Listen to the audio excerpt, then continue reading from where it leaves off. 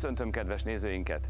Önök az új mezőgazdasági magazin legfrissebb adását látják, hallják benne információk, újdonságok, érdekességek a mezőgazdaság házatájáról. Kérem tartsanak velem az elkövetkezendő 30 percben.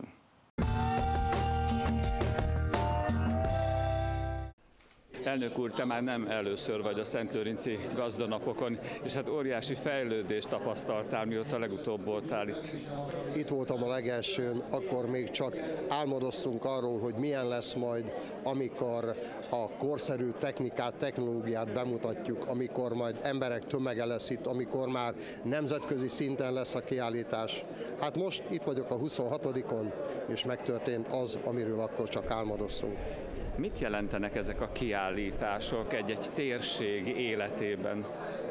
Ide jön az új technológia, ide jönnek az új szakmai ismeretek, kialakulnak a kapcsolatok, emberi, szakmai, üzleti kapcsolatok, az új fejlesztésekről már itt szó esik, és nyilván a kereskedelemre ez nagyon pozitív hatással van. Azt szokták mondani, hogy Baranya az ország aranya. Mit jelent ez neked?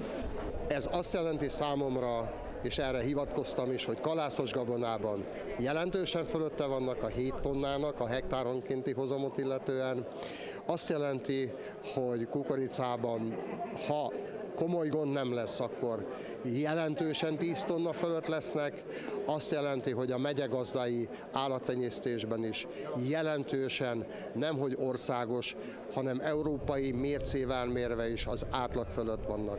Tehát tehetséges, szorgalmas, nagyon következetes, kemény gazdák dolgoznak itt a megyében, akik nem csak a saját birtokokat látják, hanem ki is tekintenek és befogadnak minden jó információt.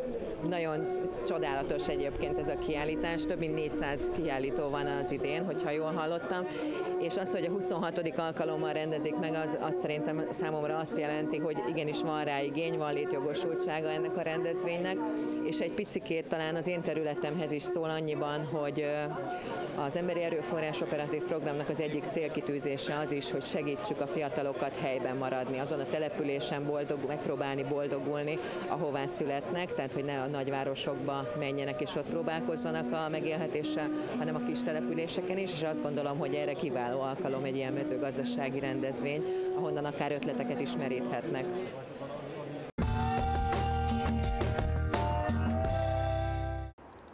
Rózsakerti esték a NAIK és a Herman Otto Intézet szervezésében. A mai este két fontos program is volt megrendezve.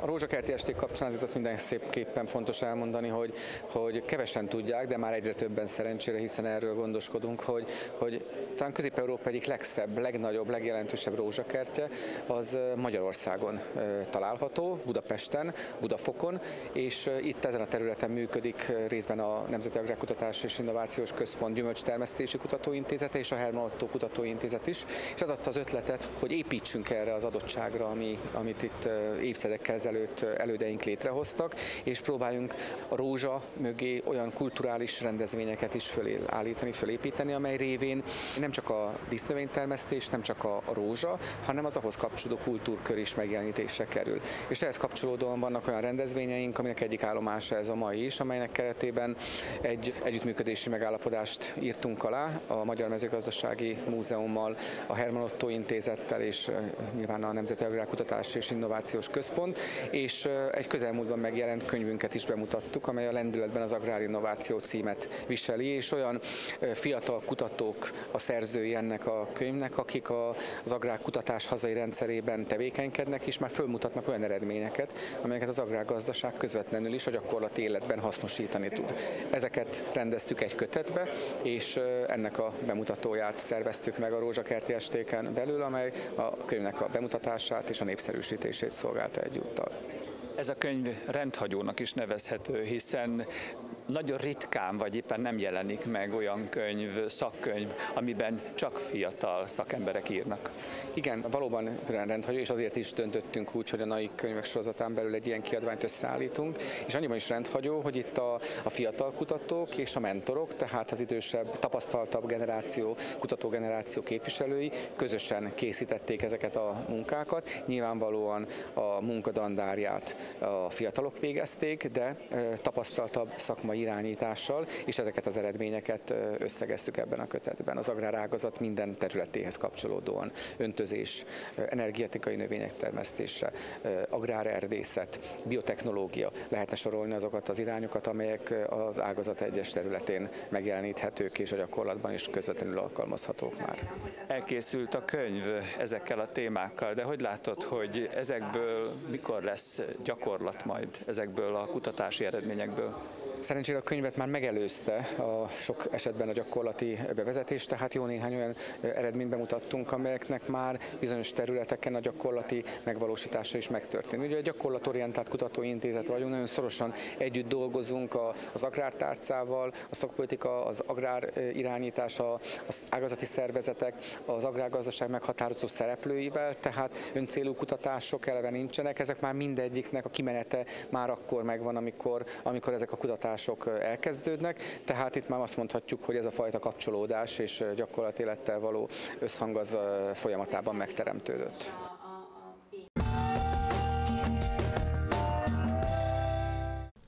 Professzor asszony, a vízmegőrzés fontosságáról tartottál itt Belvár Gyulán előadást a gazdáknak. Talán azt hiszem, hogy soha még nem volt ennyire aktuális ez a téma, mint ebben az esztendőben száraz volt a tél, és száraz volt a tavasz előtt, tehát valamikor májusban jöttek meg az esők, bizonyos növényeknek későn már, és hát most júniusban is esett néhányszor. Hát de közben voltak a szárazabb időszakok. Itt azért elmondtam, és az el másik bemutatókon is, hogy amikor szárazság van, akkor fel kell készülni a nedvesebbre, és tárolni, tárolni. A talajnak olyan állapotban kellene lennie, hogy befogadja a vizet és tárolja. Na most azért oké, okay, talajlazítást szoktuk mondani. Na de hát annak is a gyakorlata. Hát nem úgy, mint 20 meg 30 évvel ezelőtt, hogy a talaj úgy általában alkalmas volt a lazításra, és még volt hatástartama is.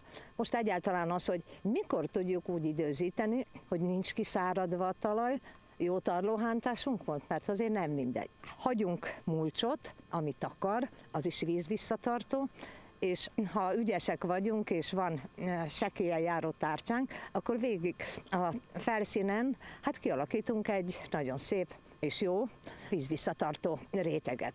Oda már be fog valamennyi víz szivárogni, lehet, hogy le is fog lepedni, de a mélyebbre halad ez a, ez a bizonyos nedvesség. De még itt nem vagyunk készen, mert hát a talajlazítás.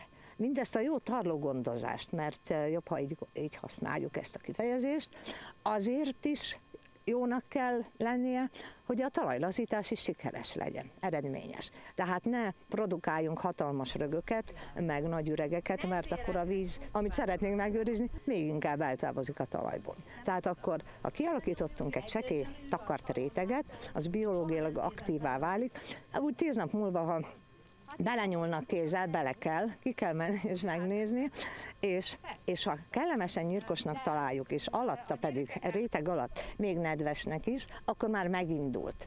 És ne adj Isten még ilisztákat is, akkor megássuk, és akkor rá fogunk arra jönni, hogy vajon haladt-e már lejjebb a mélyebb rétegek felé a biológiailag aktív réteg. Ha nem haladt, akkor még nem szabad lazítani. De szárazságban is működik. Most eh, dilemmázunk azon, hogy még egy kicsit lejjebb haladjunk, a 20-25 centi körül. Én azt mondanám, hogy ezt akkor, ha sohasem volt, vagy 10-15 éve nem volt a talaj lazítva hát akkor nem szabad azonnal mélyíteni. Akkor valóban fokozatosan kell lefelé haladni, ha pedig úgy általában, hát azt szokták mondani, hogy öt évenként lazítanak. Azt szoktam mondani, hogy lehet, hogy a lazítás utáni évben újra kell. És az Alföldön nagyon sok gazdával találkoztam, hogy minden évben kell. Rájöttek arra, hogy ülepszik a talaj, leveri az eső, muszáj, muszáj, muszáj, hogy ezt a vízbefogadó képességet helyreállítsuk. Itt ebben a road show-ban végigjárjátok az egész országot szinte.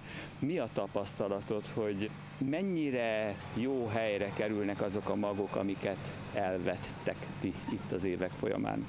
Hát őszintén remélem, hogy jó, és nagyon sokszor mondják azt, hogy miattam jönnek el, ez, ez egy jó érzés, és akkor azt is hozzáteszik gyorsan, hogy már mióta nem szántanak. Szóval megtapasztalták azt, amit nagyon-nagyon régen mondok a növényvédősök tartása ellenére, az, hogy az ekével hát ha nem figyelnek oda, eltárolják a gyomagakat évekig. Na most ugye több olyan gazdálkodóval is hát összefutottam, aki mondja, hogy most kezdi, vagy tavaly kezdte, stb. a kultivátoros művelést, és ugye a gyommal küzd.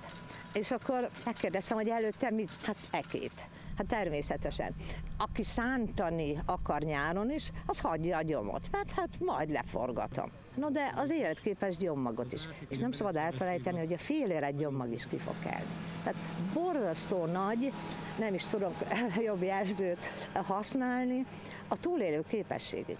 Hát biztos láttak olyat, hogy hát kis kassa vagy a kombány ugye elmest a, a gyomot és már is oldalhajtásokat két nap múlva, és már ott van a virág rajta, meg a termés. Tehát ilyen azért 20-30 meg amikor én egyetemista voltam, nem volt. Visszatérve még a gazdálkodókra, tehát úgy gondolom, hogy ha lassan is de nő a számuk azoknak, akik talajra figyelve gazdálkodnak, és örömömre, mert hát kultivátorral kultúrát viszünk a talajba, hogy a kultivátort is használják.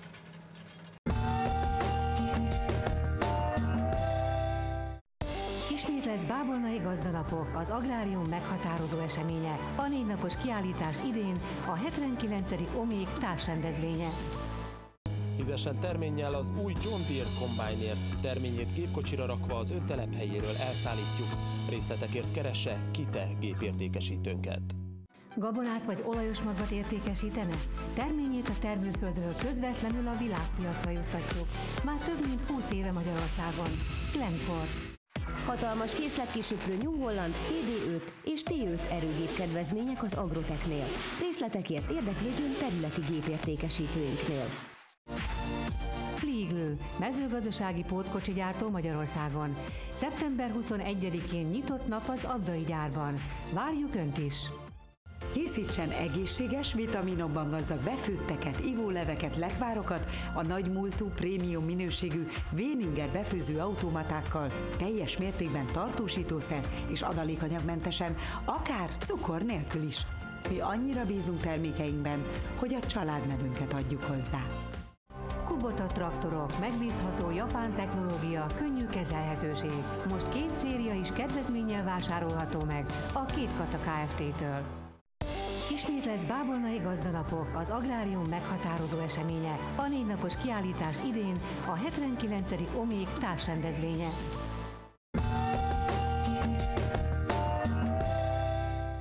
Ezen a nyáron ünnepelte századik születésnapját Bálint Gyuri bácsi.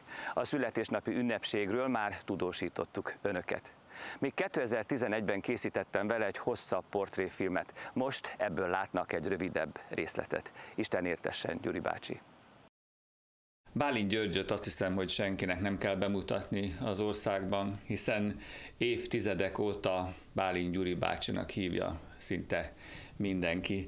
És hát, hogyha megengeded, akkor tegeződnénk az interjú alatt, hiszen 20 éve van szerencsém már ismerni téged, és kollégámnak nevezni. Egyetértek vele. Egész életemben tulajdonképpen az agrotechnika kérdéseivel foglalkoztam különböző módszerekkel, vagy különböző eszközökkel, de most, amikor így a öregedésnek már egy késői stádiumába érkeztem el, most egyre inkább érdekelnek a szociális kérdések.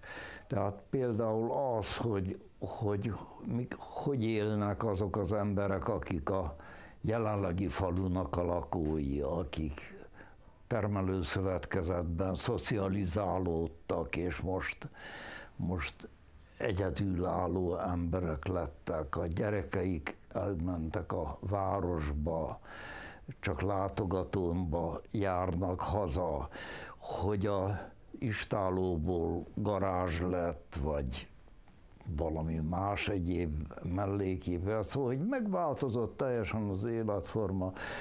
Ez engem nagyon érdekel, hogy milyen hatással van az embereknek az életére, a gondolkodására. Gyuri bácsi, te azon kevesek közé tartozol az országban, aki az utóbbi 60-70 évben látta, hogy mi történik ebben az országban, így a mezőgazdaságban is. Voltak hullámvölgyek, hullámhegyek itt az évtizedek alatt. most itt több mint 20 évvel a rendszerváltozás után, te hogy látod, hogy a magyar mezőgazdaság és benne a kertészet, az hol tart, hol van? Hát azt kell mondanom, hogy szomorúan tekintek tulajdonképpen vissza erre a 20 esztendőre. Úgy, ahogy a társadalom alakult arra is, meg arra is, amit én magam éltem át, vagy magam tettem ebben a 20 esztendőben, teljesen elfogadhatatlan szituáció az, hogy a magyar mezőgazdaság összességében ma nem termel többet, mint 25 évvel ezelőtt. Közben a világ előre haladt, a technika sokat fejlődött, a egy terület egységre jutó termék mennyiség és, és a profit is tulajdonképpen felhalmozódott. Nálunk ez nem következett be. Lehetetlen állapot az, hogy ilyen elaprózott a termőföld, és hozzá még az elaprózódottság még, még azzal a következménnyel is járt, hogy nagyon sok ember bérbe adja a területét. Jelenleg a kárpótlás során földhöz juttatott embereknek a 60 a bérbe adja a területét, tehát tulajdonképpen semmivel sincs több köze a mezőgazdaság problémáihoz, mint addig, amíg nem volt neki földje.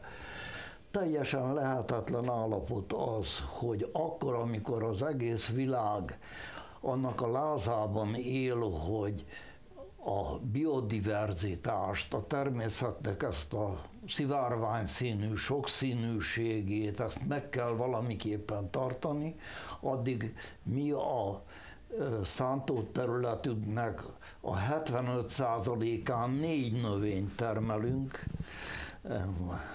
búzát, kukoricát, napraforgót és repcét, és hol vannak azok a növények, amelyek valamikor voltak. Most én nem hibáztatom persze azokat, akik mondjuk a cukorrépa termelést tették tönkre, mert, mert, mert a cukorgyárak idegen kézbe kerültek, vagy az, de azt már nagyon is hiányolom, hogy termelünk napraforgót nagy területökön, de a napraforgó magot eh, azt nem magunk dolgozzuk föl, és értékesítjük a világpiacon, hanem valahol külföldön eh, dolgozzák föl. Abban az időben, amikor eh, magam is újságíró voltam, akkor eh, sokszor átkoztam a szövosznak a rossz agrárkereskedelmét bár csak most olyan színvonalú agrárkereskedelem lenne, mint abban az időben volt,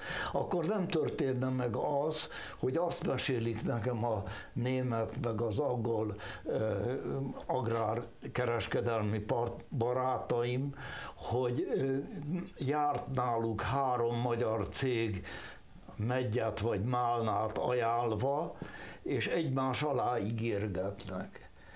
Ez, Szóval, szóval ezt, ezt a kereskedelmet, a feldolgozást, az alapanyagtermelést valamiképpen egy érdekszövetségbe kell szerveznünk. Nem beszélve arról, hogy, a, hogy az egymillió kis termelőt valamiképpen ugyancsak szövetkezetekbe kell. De a világon 600 millió ember él agrár szövetkezetekben. Hát miért nem tudjuk mi felszámolni azt a bal hiedelmet, ami végigkísérte mondjuk az én életemnek is egy jelentős részét, hogy a, hogy a szövetkezet valami ördögi találmány. De hát szó sincs róla, egy jól megalapozott beszerzési és értékesítő szövetkezet az elősegíti a termelést, és meg is tudja alapozni azt, sőt, meg tudja határozni a helyes piaci irányzatokat is, amelyek lehetővé teszik azt, hogy megint egy jó színvonalú mezőgazdaság keletkezzen, olyan, amilyet most látunk, hogy a háromszintes szépen megépített falusi házban csak az öregek két öreg ember él, és, és, és, a, fad, és a udvarban nem kapirgálnak a, a, a baromfiak, és az ólban nincsen disznó.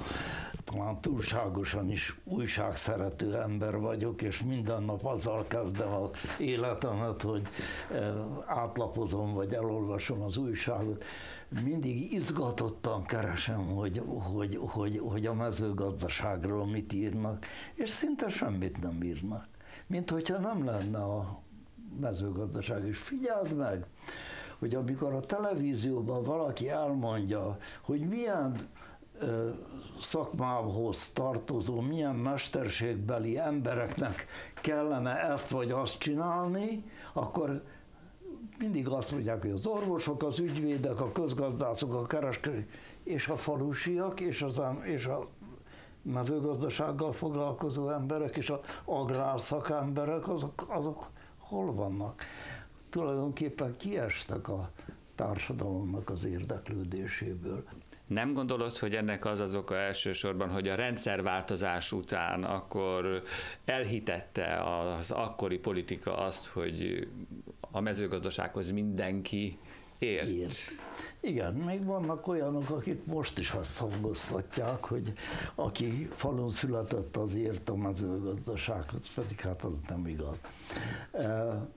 De ez egy, ez egy nagyon összetett és nagyon, nagyon, nagyon bonyolult ö, probléma, hogy ö, nem adjuk meg a, azt a tisztességet a földművelésnek, ami, ami kijár neki érte, hogy az nem tartják igazán mesterségnek, igazán szakmának a, a, a, a földnek a megművelését, pedig hát ez, ez, ez igazán szakma. Én, én a saját életemből, hogy megint csak visszafordulok, apám gazdálkodó ember volt, és négy éves koromban már kézen fogva kivitt a határól, és megmutatta nekem, hogy mi a különbség a búza, meg a rozsvátés között, hogy lehet a kettőt megkülönböztetni.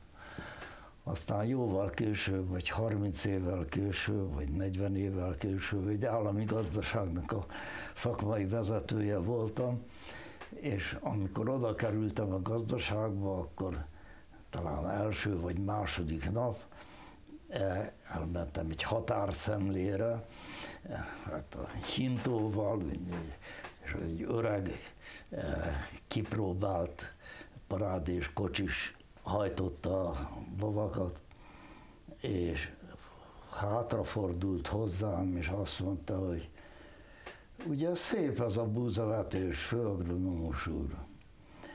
E, mondom, hogy nagyon szép vetés, de ez nem búza, hanem őszi árpa. Azt mondja, na hát akkor maga a mi emberünk.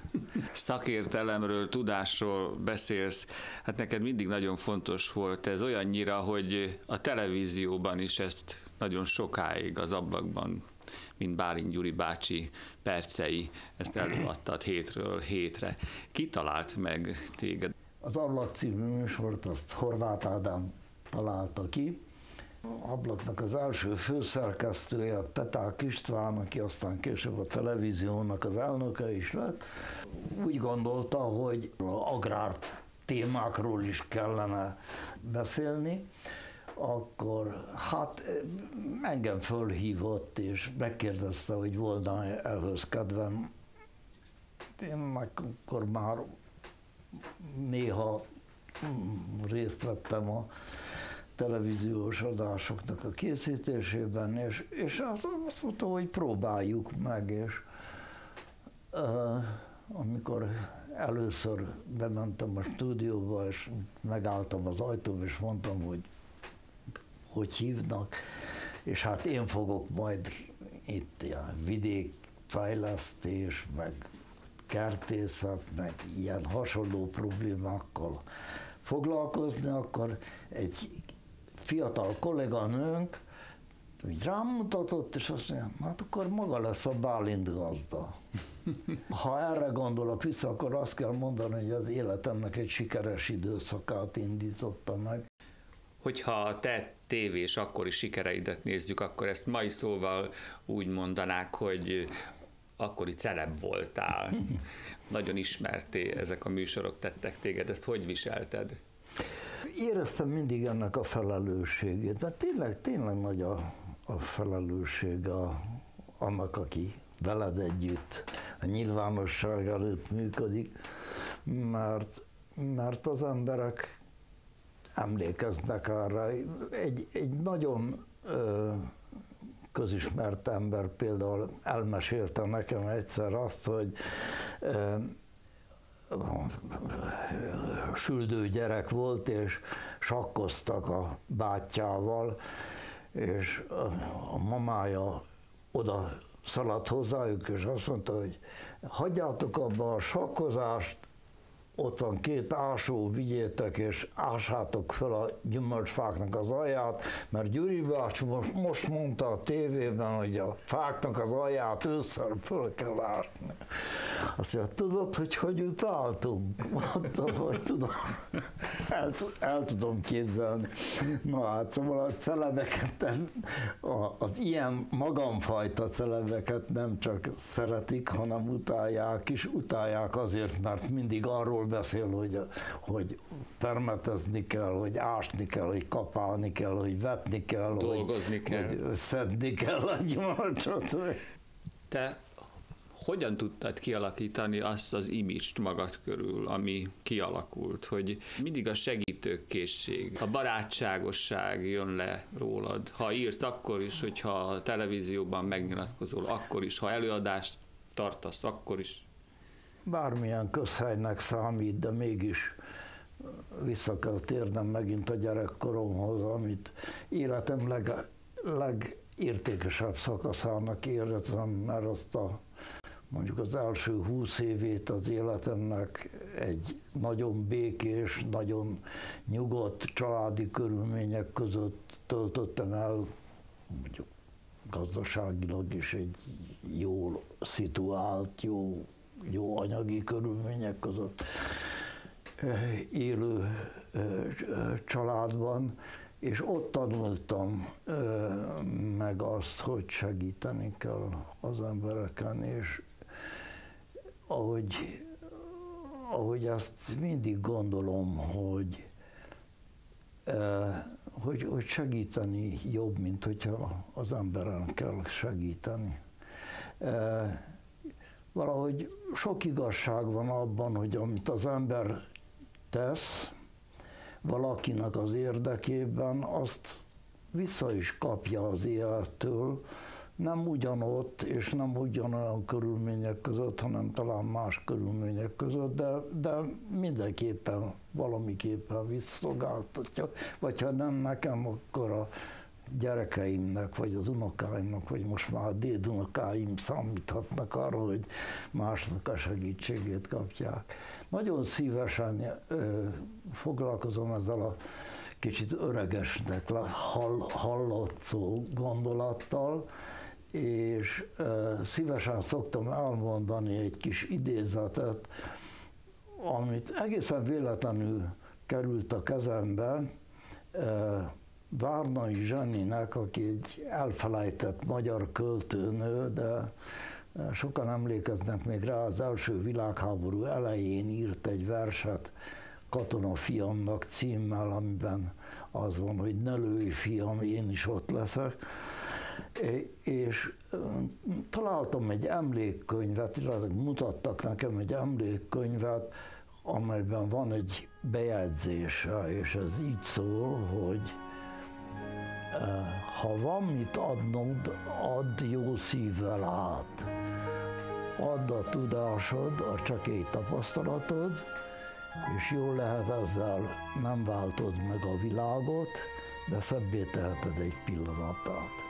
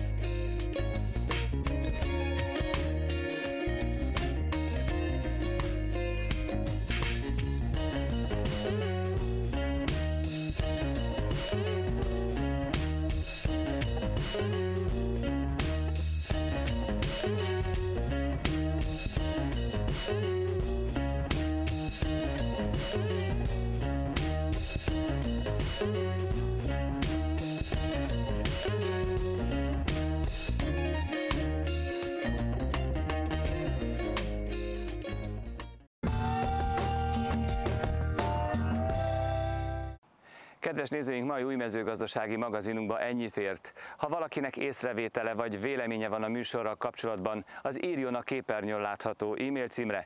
Az új mezőgazdasági magazint az interneten is megtekinthetik a www.újmezőgazdaságimagazin.hu oldalon, vagy a www.umm.hu oldalon. De keressenek bennünket a Youtube-on is az új mezőgazdasági magazin csatornáján, és ne felejtjék a Facebookon is, ott vagyunk. Az új mezőgazdasági magazint az ATV Spirit csatornáján szombaton és vasárnap reggel már 6 órától láthatják. Szombaton és vasárnap reggel a régi csatornán 6 óra 35 perckor jelentkezem. Ha tehetik, akkor is tartsanak velem. Köszönöm figyelmüket, viszontlátásra!